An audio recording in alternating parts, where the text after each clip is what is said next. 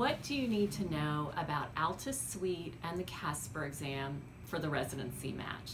I'm Dr. Rajani Katta, the author of The Successful Match to help medical students and IMGs successfully match into residency.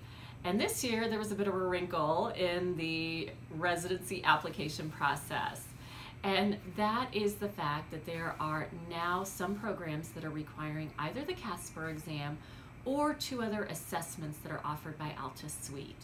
So in this video, I just want to update you with an overview of what this means for you as an applicant. So Altus Suite is the maker of three different assessments.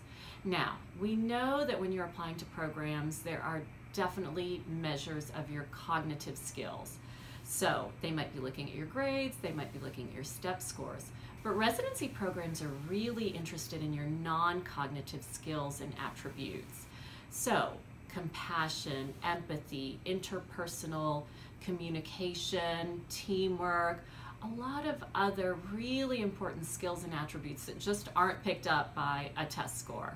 So traditionally, the way the residency programs have looked at your possession of these skills is they've looked at things like your rotation evaluations. What are your attendings saying about you?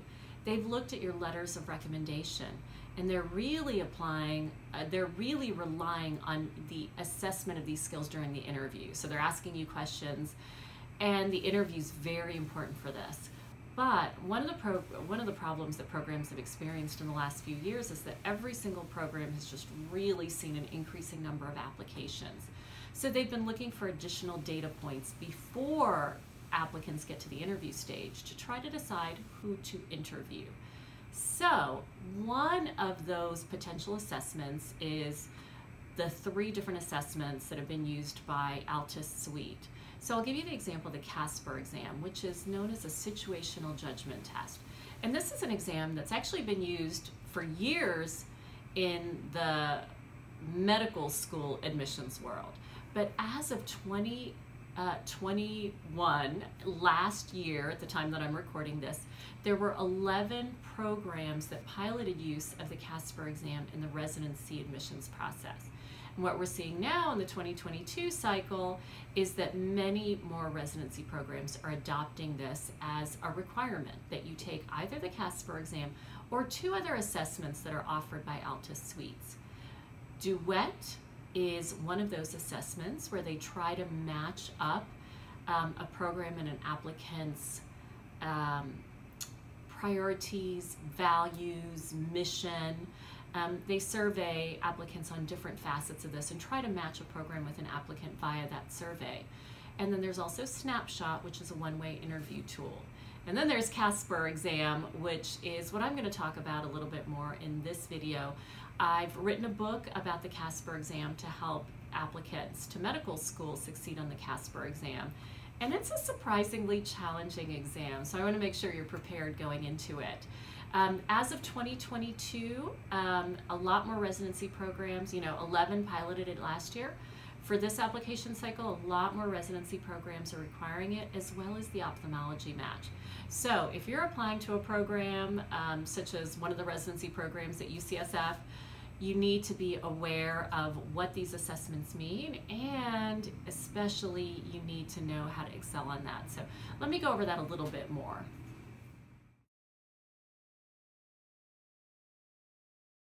So what is the Casper exam? I mean, this is the test that's being required in the ophthalmology match this year, so you need to know a little bit more about it.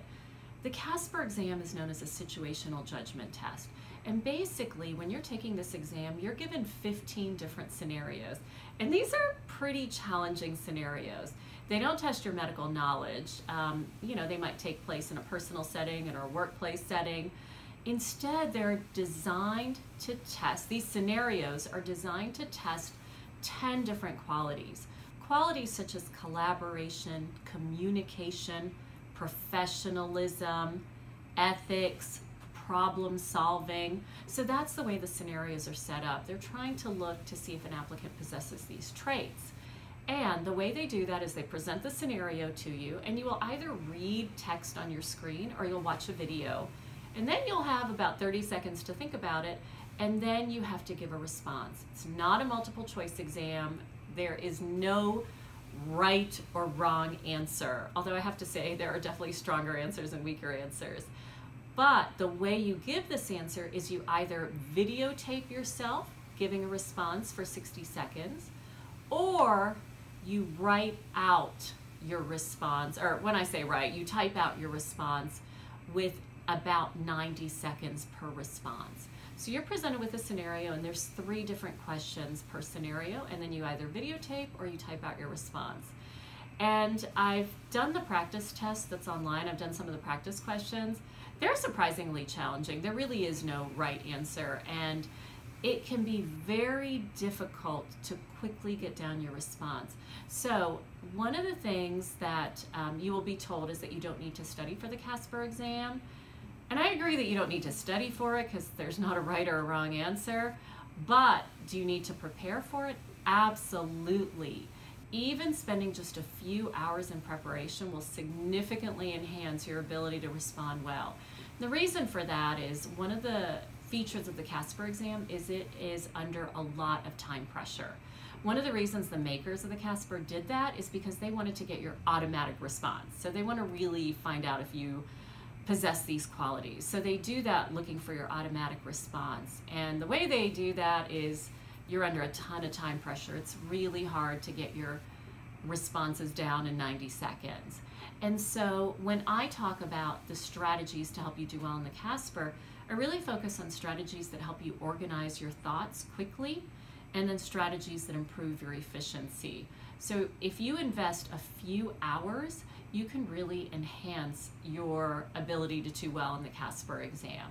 So 15 scenarios, three questions per scenario. You're either going to respond by typing or you're going to tape yourself with a video and it's definitely under a lot of time pressure. So that's a little overview of what the Casper exam is.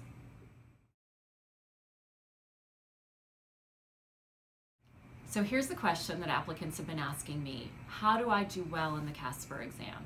Well, I mentioned that you need to invest a little bit of time and we are going to provide links in the video description to the six-part blog series that I've written about how to do well in the Casper exam. The ones that I will really direct your attention to are what are the five types of questions that are found on the Casper exam? The other one that I really emphasize is top tips and strategies for how to do well in the Casper exam. And um, I really emphasize those two because you're going to learn some really easy techniques, such as noting down key details as they're presented to you, scanning all three questions before you start typing, and then especially learning the five types of questions that are most commonly asked on the Casper and learning what types of frameworks we recommend to respond to those questions. So this is, um, these are really quick reads. So I really recommend that you look over those blog posts. I also have a, um, an example of some of the Casper scenarios along with our responses. And then if you're further interested, we have a Casper test prep guide. Again, a quick read, but it has a full length sample test with sample responses that can help you get an idea for how to provide a response that emphasizes your possession of these 10 qualities the makers of the Casper is looking for. Now, one of the things that's really hard when we say how can you do well in the Casper is the fact that the makers of the Casper exam have never published an example of a good response. So if you Google this and you look online or you watch videos, um, people might tell you, like, this is an example of a good response. The fact is that there's never been a rubric that has been released by the makers, so we don't actually have any example of what they consider to be a good response. So instead, when we have created our strong responses, we're really focusing on responses that you can get down in 90 seconds and responses that highlight your possession of those qualities. So keep that in mind, but those are some of the key features on how to do well with the Casper.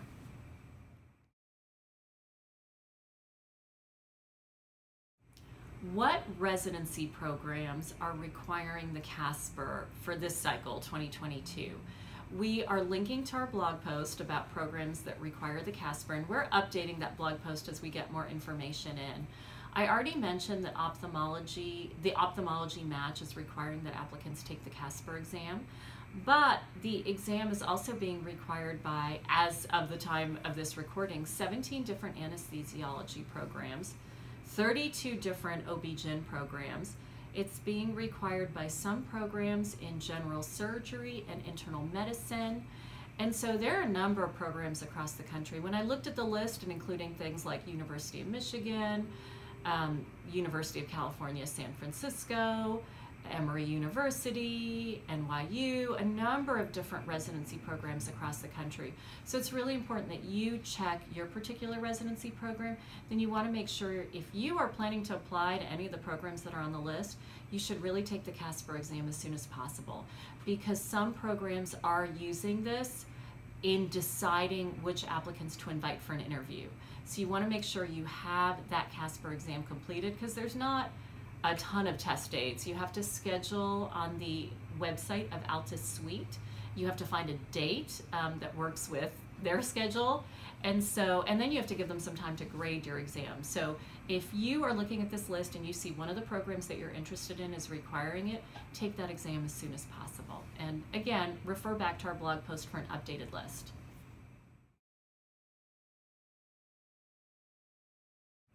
Will the CASPER exam be used to weed out applicants? That's another great question. And the fact is, of course, that it's going to depend on the individual program. So the big question in your mind may be, if I don't do well in the CASPER exam, is that going to remove me from consideration? So it's going to depend on the individual program, but there are some indicators from the pilot program that was launched last year that some programs may consider a low score on the CASPER to be a red flag. So for example, if you look at Altus Suite's website, they did quote one of the program directors in general surgery who said that they did find that when they asked students to take the Casper exam and snapshot, that there were some red flags that there were that were revealed. And so that to me suggests that they're looking at that and they may decide not to invite an applicant based on um, so anything that they consider a red flag. Um, so that's something to keep in mind. I think the fact that we don't know, I think what that means is you have to take it seriously and you have to do well. I would definitely say you want to try to avoid being in the lowest quartile on the Casper um, assessments the Casper is graded as of this year top quartile, middle two quartiles, lowest quartile. So I think you have to put in the time to make sure you're not in that lowest quartile because I think there are some clues that some programs may consider that a worrisome finding.